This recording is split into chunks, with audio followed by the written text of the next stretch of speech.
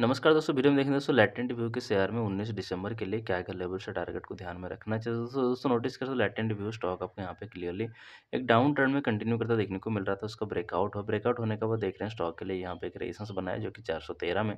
Stock अभी इसको breakout करके भी ऊपर बढ़ता हुआ नज़र आ रहा है। तो अभी के लिए देख रहे हैं स्टॉक यहाँ से इस तरीके से एक ऑप ट्रेंड में कंटिन्यू करता नज़र आ रहा है और अपने प्रीवियस का जो रेसेंस लाइन था, उसको ब्रेकआउट करके ऊपर बढ़ता हुआ क्लियरली दिखाई दे रहा है। पहला टारगेट आपको दिखाई दे रहा है फाइव फोर टू में है। दूसरा टारगेट आपको दिखाई दे रहा है यहाँ पे रहेगा छः सौ उन्नीस में और नेक्स्ट टारगेट आपको देखने को मिलेगा सात सौ तेईस में। यहाँ पे अगर कैलकुलेट करेंगे रिस्क रिवॉर्ड को अगर हम देखेंगे तो देख सकते हो आप। अगर आप स्विंग लो के नीचे अगर आप स्टॉप लॉस लगाते हैं तो लगभग आपको यहाँ पे वन इस टू फोर का रिस्क रिवार्ड देखने को मिल रहा है, जो कि काफ़ी अच्छा है।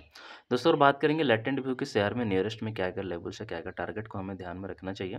तो आपको दिखाया है दोस्तों, ये रहेगा रीजनल लाइन जो कि फोर में रहेगा। नेक्स्ट रहेगा दोस्तों यहाँ पे पाँच सौ दो पॉइंट फोर फाइव में रहेगा। सपोर्ट लाइन दिखाई दे रहा है, पाँच सौ चार सौ सत्तर में रहेगा और एक रहेगा दोस्तों यहाँ पे और नेक्स्ट रहेगा दोस्तों four double five point four four five में।